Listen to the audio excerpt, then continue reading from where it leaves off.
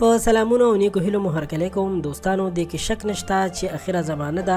او د فتنو دور دی وخت په وخت داسې نوې فتنې سر راوچتوي چې خلک ځان سره ویریږي او په دې یقیني شي چې قیامت را نږدې دی څو ورځې وړاندې چې په مسجد الحرام کې کومه واقعه وشوه نو ټول خلک یې ډېر زیات غمجن کړي دي چې یو سړي بې کنټروله ګاډی د مسجد الحرام دروازې سره ټکر کړی دی او که د الله پاک په قدرت سره ګاډی حصار شوی نه و نو کېدای شي د کعبې میدان ته ور داخل شوی و خو الله پاک په خپل فضل او کرم سره هر څه کنټرول کړل بېشکه چې الله پاک بهتر حفاظت کوونکی دی خو د دې واقعې نه پس ډېرو خلکو ویل چې دا څوک و چې داسې غلط کار یې کړی دی په سوشل میډیا باندې خلکو مختلف نظرونه لیکل د ځینو خلکو په وینا چې دا یې د غیرمسلمه خلکو یو پلان ګڼلو چې د مسلمانانو خلاف او د حرم شریف خلاف یې یو پلان جوړ کړی دی او حمله پرې کوي خو ځینو بیا ویل چې د شرابو په نشه کې دې کس ګاډی چلولو خو د دغه مجرم په نیولو سره که څه هم د سعودي عرب حکومتي مشرانو هیڅ هم نه دی ویلي خو دومره معلومات شته چې دا یو عربي و د هیڅ کوم بل ملک نه نه راغلی او ځینې نږدې سرچینو دا هم ویلي دي چې دې سړي شراب څکلي